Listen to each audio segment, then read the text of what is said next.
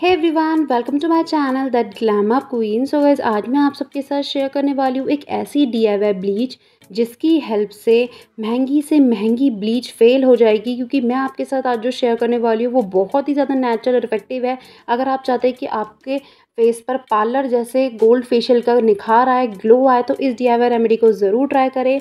इसके यूज़ से आपकी स्किन की सारी समस्याएँ दूर हो जाएँगी दाग धब्बे कील मुहासे झाइयाँ की प्रॉब्लम अगर आपको हो गई है तो वो दूर हो जाएगी, आपके स्किन से डार्कनेस दूर होगी और आपको white and bright and shiny skin मिलेगी।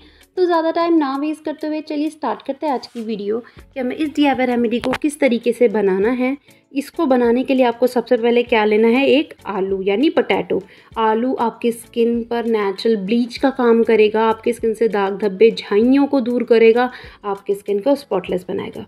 तो आपको आलू को अच्छे से छिल लेना है और उसके बाद आपको क्या करना है? आलू का हमें रस चाहिए। यानी आलू का जो है वो हमें जूस जो निकलता है हमें यहाँ पर कद्दूकस करके, ये देखिए इस तरीके से, मैं इसको ग्रेट करके इसका इजीली छलने की हेल्प से छान कर इसका जूस जो है निकाल लूँगी। अगर आपके पास ग्रेटर नहीं है तो आप मिक्सी जार में इसको पीस कर भी इसका इजीली छान कर जूस निकाल सकते हैं। तो इस तरीके से आप इजीली इसका रस निकाल लीजिए और आलू बहुत ही ज़्यादा अच्छा होता है। आपकी स्किन से दाग धब्बे झाइयों को ऐसे दूर करेगा जैसे कभी थे ही नहीं और आपकी स्किन पर गोल्ड फेशियल जैसा निखार आएगा अगर आप इसे डेली यूज़ करोगे। स्किन को कोई हार्म नहीं होगा, बल्कि आपकी स्किन की सारी समस्याएँ दूर हो जाएगी।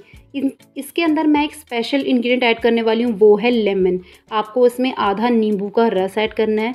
नींबू का रस बहुत ही ज़्यादा अच्छा होता है। ये एक ब्लीचिंग एजेंट होता है, जिससे आपकी स्किन की सारी प्रॉब्लम्स दूर होती है। दाग धब्बे, झाइयाँ, कील वहाँ से दूर होते हैं और आपको वाइट एंड ब्राइटन और ग्लोइंग स्किन मिलेगी। तो मैंने दोनों चीज़ों को अच्छे से मिक्स कर लिया है और अब हमारी डी ब्लीच एकदम रेडी हो चुकी है।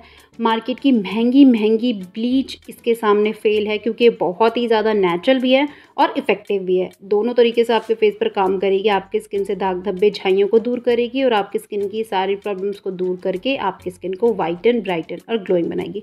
तो आपको डेली किस तरीके से यूज़ करना है?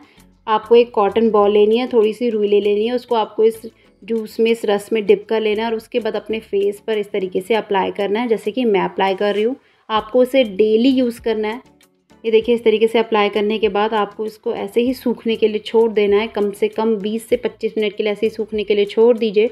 जब प्रॉपर जो आपका जो फेस है, वो अच्छे से आपकी जो रेमेडी है, वो सूख जाए, तब आपको नॉर्मल वाटर से अपने फेस को वॉश कर लेना है। मैं आपको गारंटी देती हूँ, आपकी स्किन की सारी प्रॉब्लम्स दूर हो जाएगी। अगर आपने इस रेमेडी को यूज़ कर लिया तो बहुत ही ज़्यादा नेचुरल है इफ़ेक्टिव है। स्किन को कोई हार्म नहीं होगा, बल्कि अगर आप चाहते हैं कि आपके फेस पर पार्लर जैसे गोल्ड फेशियल का निखार आए ग्लो आए तो इस डीआईवाई रेमेडी को आज से ही यूज़ करना शुरू कर दीजिए। और आप देख सकते हैं कि किचन में ही आपके स्किन की सारी प्रॉब्लम्स का इलाज है तो आप किचन में ही इन दोनों चीज़ों को सबके घर में अवेलेबल होती हैं और ये स्किन पर ब्लीच का जो ऐसा काम करेगी तो आपकी स्किन पर जो ग्लो होगा, जो निखार होगा, वो देखने लायक होगा। तो आप इस DIY रेमेडी को डेली यूज़ करें, स्किन को कोई हार्म नहीं होगा। तो आज के लिए सिर्फ़ इतना ही। अगर आपको मेरी वीडियो पसंद आई हो तो मेरी वीडियो को लाइक करें और प्लीज़ मेरे चैनल को ज़रूर सब्सक्राइब करें और अपने फ्रेंड्स के साथ शेयर करना ना भूलें। मैं मिलूँगी आपको अगली नई वीडियो के साथ। तब तक के लिए बाय बाय टेक केयर